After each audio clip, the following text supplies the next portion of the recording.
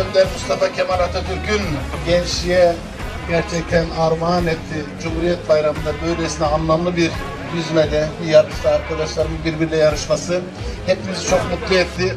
Öncelikle bayramınızı kutluyorum. Sağ olun, var olun. İnşallah daha güzel etkinliklerde yeniden bir arada olmak dileğiyle diyorum.